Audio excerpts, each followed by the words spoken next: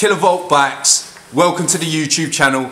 Today, we're not actually gonna build something, we're gonna repair something. So let's do this, watch this space.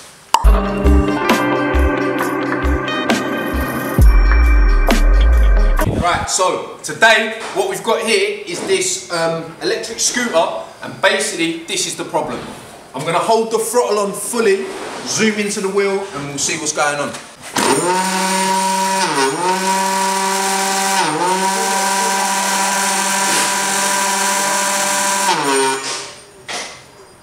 I'm still holding the throttle, bear in mind. Off the throttle, on the throttle.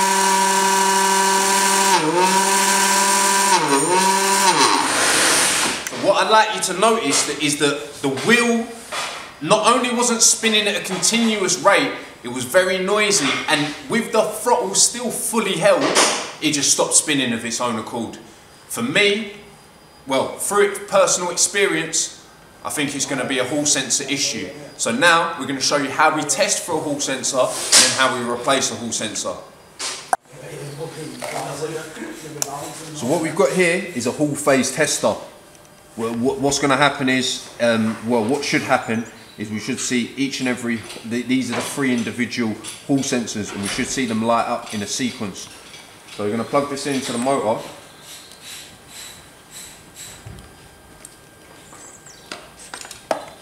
we can see we've got two lit up. I'm just going to move it slightly and the green and the yellow hall sensor is responding but there's nothing from the blue.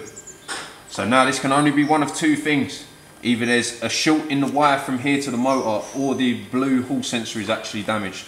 So now we're going to find that out.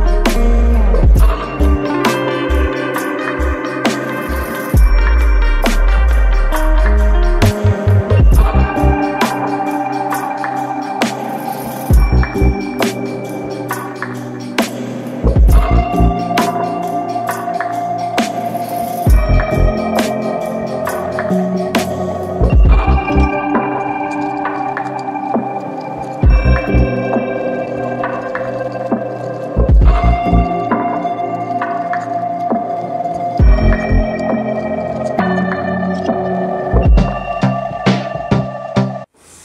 inside the motor, we tested all three of the hall sensors and the blue sensor had failed.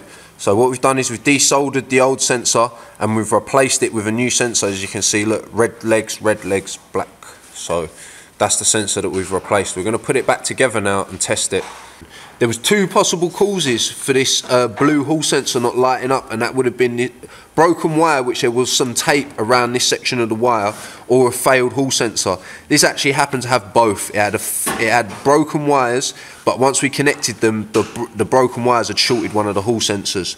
So with all of that repaired it's all ready to go back together and get tested.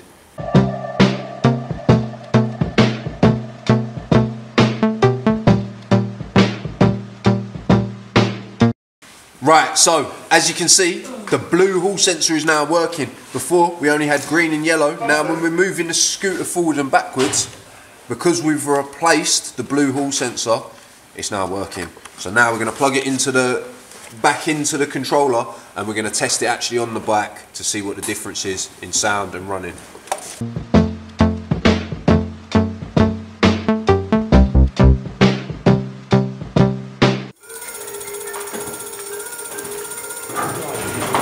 So as you can hear and probably see, with the hall sensors all responding, the motor is acting very differently. It's a lot quieter and it's not fluctuating in speed. It, it maintains a continuous speed when the throttle's held down. Just to summarise what's gone on, it's Friday afternoon, we're enjoying some sweets, we're getting ready to go home, but on this scooter repair, we had to A, repair the motor wires as they was damaged, and we had to B, replace one of the hall sensors. The reason we wanted to show you this video today is because it's a service that we offer on our website and from our workshop. If you have a motor that needs a hall sensor replacing or has a broken wire or has any other types of issues and needs rebuilding, you can either send it in to us or you can visit us in our Manchester workshop. So give us a shout, let us know what's good. Enjoy your weekend, KV gang.